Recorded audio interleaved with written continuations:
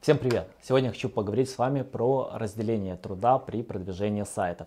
Это действительно сегодня важно, чтобы получить успех и действительно продвинуть свой сайт.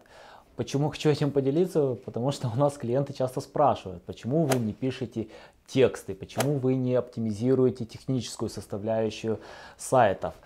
10 лет назад, когда мы только начинали а, развивать наше агентство, у нас э, были копирайтеры, которые писали практически все тексты на сайт клиентов. У нас был программист, который работал удаленно и неполное время. Он занимался нашим сайтом, он занимался всеми клиентскими сайтами. И действительно, в те времена это хорошо работало, потому что это был низкий уровень конкуренции. Технологии растут, все развивается. Возьмите любую сферу, возьмите, допустим, а, медицину есть хирурги, есть терапевты, есть стоматологи. Возьмите а, автомобильную направление, к примеру, там ремонт автомобиля, есть вулканизация, есть тот, кто занимается ремонтом кузова, покраской, ремонтом двигателя.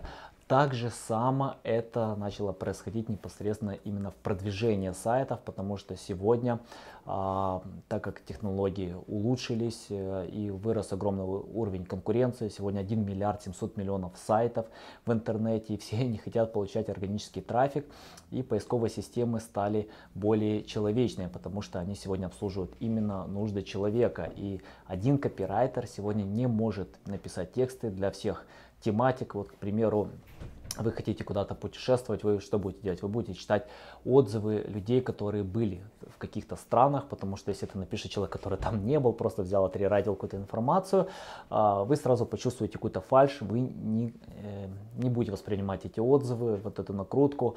А, то же самое, к примеру, вы возьмете, зайдете там на какой-то медицинский сайт, представляете, чтобы тексты писал не специалист, э, который не потратил там много лет обучения в университете, а, не прошел необходимую практику, и это будет человек, который взял просто отрерайтил текст.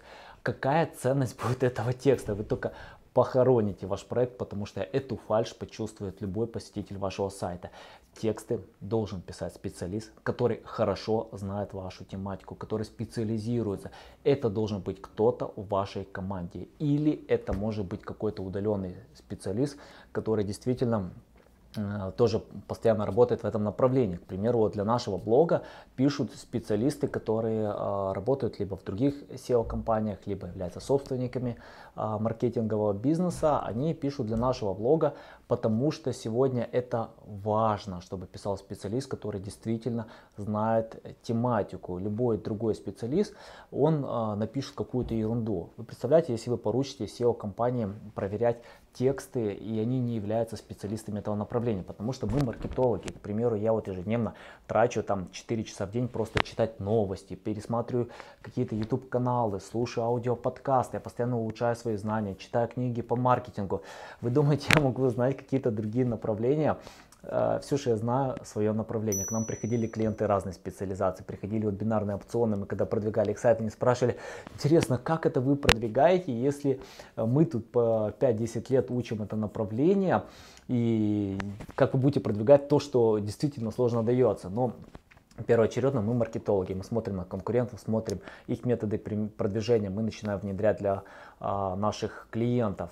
Но мы не можем оценить качество текстов, написанные э, не специалистами, если ты не являешься специалистом этого направления. А, каждый бизнес, он в первую очередь должен думать про своего покупателя, то есть э, любого посетителя сайта, который пришел к вам на сайт, он должен почувствовать, что это действительно написано специалистом. И Google ввел этот параметр IT, это Expertise Authority Trustworthiness, который означает, а, что э, тексты, информация, она должна вызывать доверие. Это должна быть написано квалифицированным специалистом, она должна, иметь какой-то авторитет. Если этих параметров нет, вы не получите результаты. SEOшник не сможет проверить качество контента вашего сайта с точки зрения написания написания его для клиента. Да, SEOшник может проверить там технический аудит, он нам составит план, мы это действительно делаем постоянно, мы составляем контент-планы, мы делаем то, что мы можем, но мы не создаем тексты. И многие компании, большие компании, они давно уже ушли от того, что они пишут тексты для клиентов. Клиент должен первоочередно найти специалистов, которые будут писать для них эти тексты, либо это в их команде, либо удаленно, но он должен действительно знать это направление. И качество написанного текста должен проверять именно э, собственник бизнеса который каждый день э, работает с клиентами, он понимает, качественный этот контент или нет. То же самое с программированием. Вот просто представьте огромное количество сайтов. У нас сегодня только для нашего сайта трудится практически full time два программиста, которые хорошо знают про э, платформу WordPress. Я вам скажу, э, чтобы им э, исправить какие-то определенные элементы, они просто иногда уходят неделями. Я вам скажу, мы нашли этих специалистов, наверное, ну, так, если сказать, из сотни, просто из сотни, чтобы нам подошел и ценник, и качество их услуг. А, раньше один специалист, который работал не полное время, мог оптимизировать там 10-20 сайтов, в том числе и наш, взять, подправить код, что-то сделать. Это было действительно легко. Сегодня это настолько уже сложно, потому что платформы стали тяжелые, множество информации, большой уровень конкуренции. Если вы хотите иметь успех, вам нужен иметь специалист, который будет специализироваться на вашей платформе и работать на вас если не full time, но хотя бы там какое-то частичное время, но этот специалист должен быть постоянно с вами. А, SEO компании, если вы говорят, что мне в рамках бюджета это все сделают, это делается некачественно. Во-первых, они забирают денег с бюджета, которые необходимы на продвижение, во-вторых, а, как правило, любой специалист, который берется за проект, он не может исправить э, ошибки там даже за неделю, две, и иногда этот процесс идет годами. Я вам скажу, даже вот по нашему сайту исправление идет годами. Но это не означает, что надо останавливать продвижение, ждать, пока на годами исправится, потому что это постоянный процесс улучшения. Вы должны постоянно улучшать контент на вашем сайте. Я вам скажу, мы вот контент на нашем сайте уже просто ну, создаем много лет постоянно его оптимизируем, улучшаем, и это, а, это, скажем так, как, грубо говоря, вы пользуетесь автомобилем, вы постоянно меняете колодки, вы постоянно меняете масло, то же самое вот в продвижении сайтов.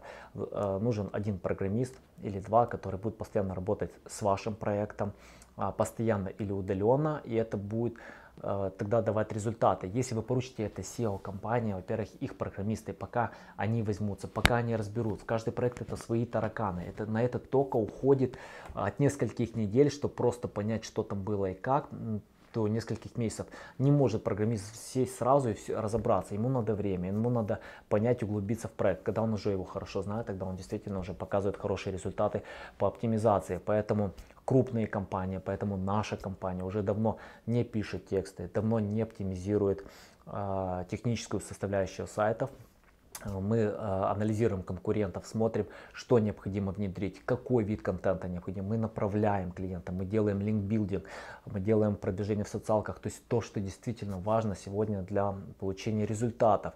Поэтому если вам SEOшник обещает all-in, я вам все сделаю, я вам и тексты напишу, и оптимизирую, и продвину, а вы проверьте, у них свой сайт хотя бы продвинутый, вы проверьте, а, какие они проекты ведут. А, всегда надо проверить портфолио, количество рекомендаций. А, и поймите, один специалист не может охватить все направления. Это просто сегодня уже невозможно, потому что технологии действительно сегодня тяжелые. Каждый специалист должен а, фокусироваться на чем-то одном. К примеру, я вот фокусируюсь там на линкбилдинге, на контент-маркетинге. Николай больше там платная реклама, также SEO.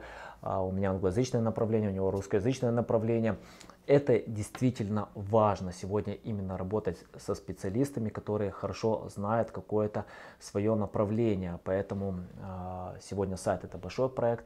Э, программисты это отдель, отдельный участок работы, копирайтеры или те, кто создают это отдельный участок работы, дизайнеры, которые также будут создавать уникальный какой-то интересный дизайн для вашего проекта, а, поручите это разным командам. Конечно, это отнимает немного времени, делегировать, администрировать эту работу, но если вы надеетесь, что вам срочник сегодня все это сделает и еще даст результаты, я вам скажу, вы просто потратите время, сольете кучу денег и будете думать, что SEO-специалисты неплохо работают. На самом-то деле а, важно найти специалиста, который действительно хорошо знает именно свое направление, а, рекламу, не найти специалистов, которые хороши именно тоже в своем направлении. Это либо написание текстов и хорошо, которые вот именно знают, ну, которые, скажем так, знают вашу специализацию, и программистов, которые действительно э, знают вашу платформу, к примеру, это может быть WordPress, Shopify или какая-то там другая, но они действительно должны знать вашу платформу и дать им время разобраться. И знаете, что э, сотрудничая с ними постоянно, вы действительно получите результаты. В принципе, это все на сегодня. Подписывайтесь на наш канал, э, нажимайте колокольчик, задавайте мне вопросы. Я обязательно отвечу на все эти вопросы в комментариях. И до новых встреч!